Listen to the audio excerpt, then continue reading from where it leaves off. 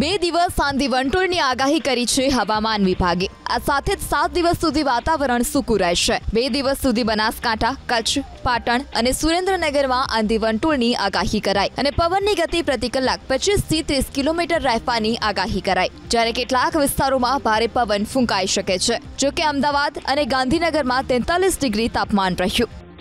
आने वाले दिनों के लिए जो गुजरात स्टेट के लिए फोरकास्ट दिया गया, आने वाले सात दिनों में ड्राई वेदर प्रिवेल करेगा और मैक्सिमम टेम्परेचर की बात करेंगे तो मैक्सिमम टेम्परेचर आने वाले पाँच दिनों के लिए नो नो लार चेंज में रहेगा। और डस्ट स्टॉर्म की बात करेंगे तो बनासकांठा, कच्छ, पाटन और सुरेंद्र नगर के लिए डस्ट स्टॉर्म की वार्निंग दी गई है आज और कल के लिए। और स्ट्रांग सरफेस विंड प्रेवेल करेगी आने वाले तीन दिनों के लिए और उसकी स्पीड होगी 25 से 30 किलोमीटर पर आवर पूरे गुजरात लैंड रीजन के लिए।